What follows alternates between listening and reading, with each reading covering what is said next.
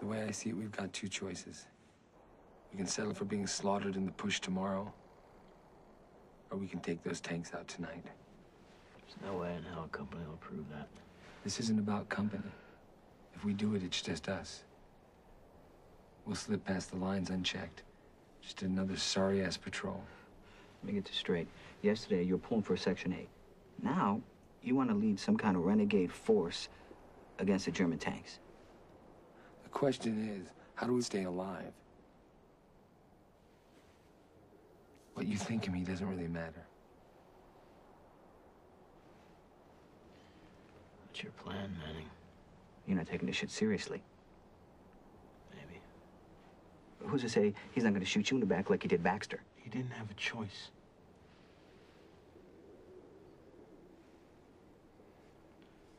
If he hadn't shot Baxter, we all would have run. And we'd still be taking a fire from those 88s.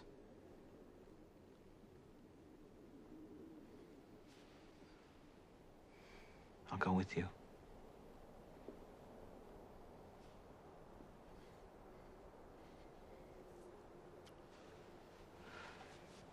I don't know. I don't.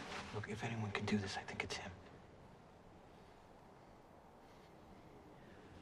I'm not thrilled about the odds. It's better than what we got coming at dawn. Manny, What? Nobody dies. Nobody dies.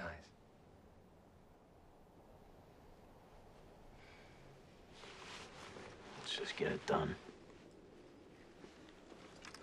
All right. I'll clear the minefield and cut the wire. We gotta hit the tanks at dawn before the push begins.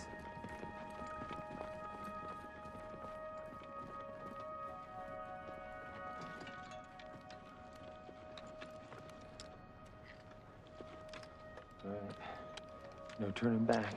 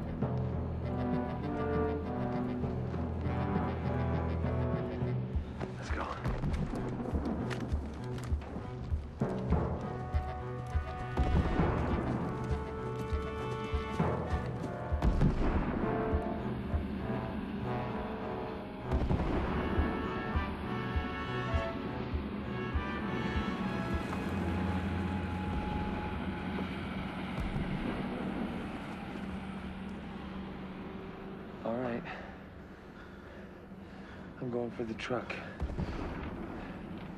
Cover me.